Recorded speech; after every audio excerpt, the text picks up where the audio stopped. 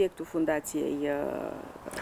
Uh, a, fundația a fost uh, făcută de fost un bun prieten de-al meu, care am fost coleg de școală la Pitești, care e un om înstărit din, din uh, Pitești și care, fiind și colecționar și fiind foarte apropiați unul de celălalt, uh, el având uh, și o firmă de construcții, între alte lucruri care le are, uh, alte firme care le are, și am spus, mai dacă cumva apare, construiești ceva și ai un spațiu așa mai generos, eu aș vrea să o parte din lucrări să le donez, să fac o fundație.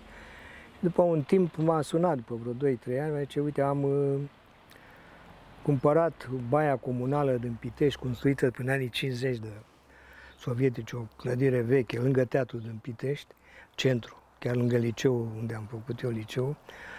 Și ce vreau să o vând, dar m-am răzgândit, uite, vrei să facem aici?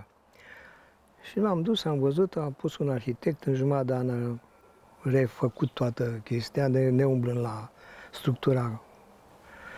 Și acolo e un lucru care e făcut foarte bine.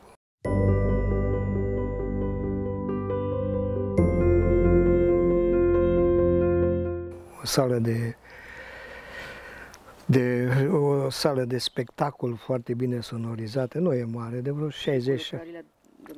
Imediat vă spun. Are o, o cafenea, o librărie, singura librărie serioasă din Pitești, v-am nici știu, dacă mai există alta. Ca ateliere de creații pentru copii, muzică, pian, dans, ateliere de pictură și încă câteva nu mai știu. Iar la primul etaj sunt uh, expuse în două sări lucrările soției mele și ale lui lui Nicu fotografie, el nu a vrut să implice prea mult și a pus numai două, trei fotografii. Și o sală de uh, artă temporară, cu săli, două săli mari, unde am făcut câteva expoziții, unele importante, uh, și iar sus la etajul 2 uh, este expoziția permanentă cu lucrări de ale mele și ale lui fiului meu cel mare, sculptorul. Și aveți în intenție să ajutați tinerii artiști? Eu n-am intenția ei. Chiar... Acolo sunt angajați de către partea financiară, se ocupă prietenul meu, domnul Badea. De partea, de, eu am, nu mai am donat lucrările. De fapt, așa aș fost înțelegere. Eu n-având Asta costă, trebuie să investești. E făcută foarte bine, gândită foarte bine, el fiind, merge și minte, are numai trei angajați, o directoare și două angajate și o femeie de serviciu. Funcționează totul foarte bine și profesorii care sunt plătiți din, din ce plătesc cei elevii sau copiii. Da, și, iar eu mă ocup mai de aceste expoziții temporane, eu le organizez, eu invit artiștii și în rest se ocupă această fundație. Ce relație aveți cu banii? Aveți un spirit antreprenorial? Nu știu dacă am, dar cred că am avut noroc să, să depășesc perioada critică prin care a trecut când eram tânăr, în care banii, adică n-am fost, v-am spus, nu am avut nimic, totul am făcut eu. Am avut norocul să vând de tânăr și normal că un artist trebuie să aibă bani, mai ales un artist care investește și cheltuiește tot ce am făcut, casele, tot ce asta, cu banii care i-am câștigat pe pictură. Și nu mă, uh, cum să spun, nu, nici nu mă laud că am câștigat enorm, dar nici nu mă plâng că n-am câștigat. Mulțumesc lui Dumnezeu, am câștigat în atâta cât să pot să duc tot ce am. Și asta e important. Înțeleg că Piteștiul a avut pădurea trivale. Bucureștiul ce, ce a avut Nimic. să vă dăruiască? Nimic. Nimic? Nimic. Nimic. Nu, mie nu place Bucureștiul ca oraș în afară câteva cartiere unde am atelierul în Pangrati, strada care stau eu pe Pleșoianu, dar ca oraș nu îmi spune mai nimic. Mai ales acum în ultima perioadă, că se construiește total haotic. De exemplu, era în Pang, la Pangrati, acolo toată zona asta de piața Charles de Gol, au construit o, un bloc imens de nu știu câte 15 etaje, un ne- și negru și un total anapoda, n-are ce căuta acolo și multe alte zone.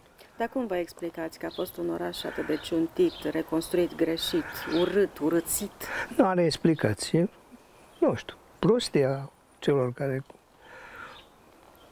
celor care conduc, în primul rând, a permis uh, un arhitect uh, trebuie să gândească ceea ce îi spune, îi se comandă.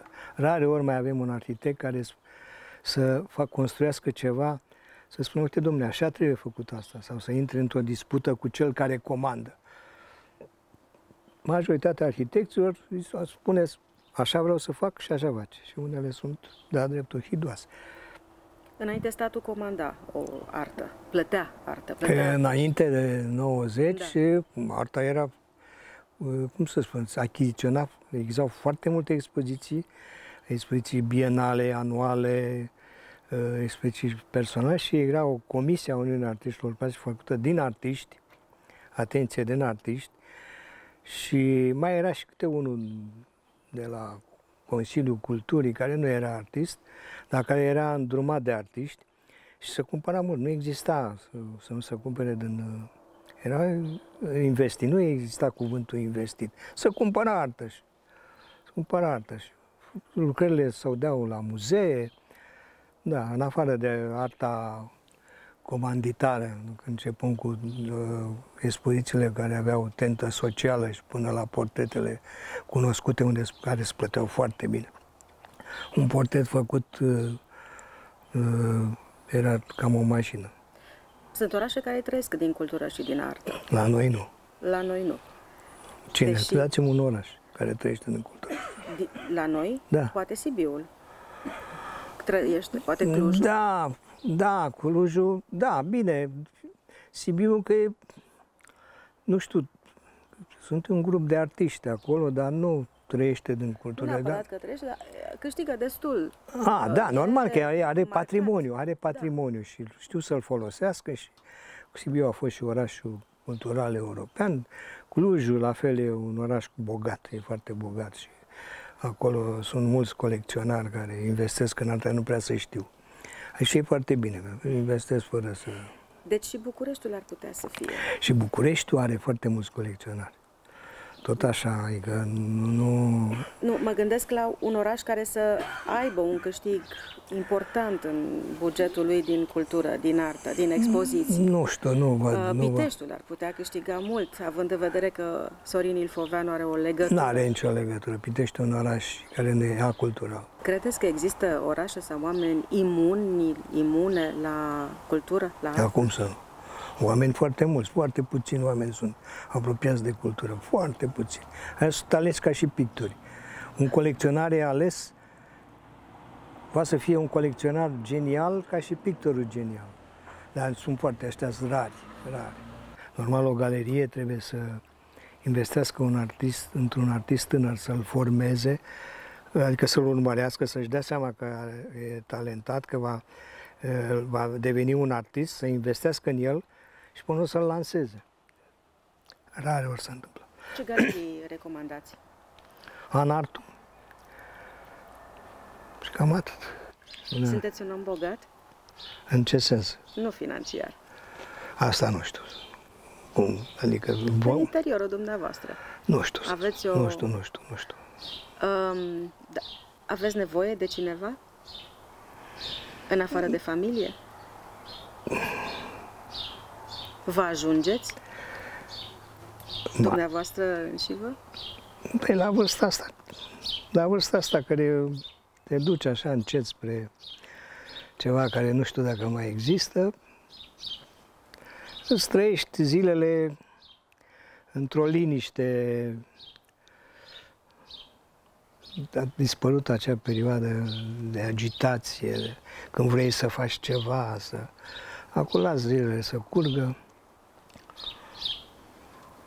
Da.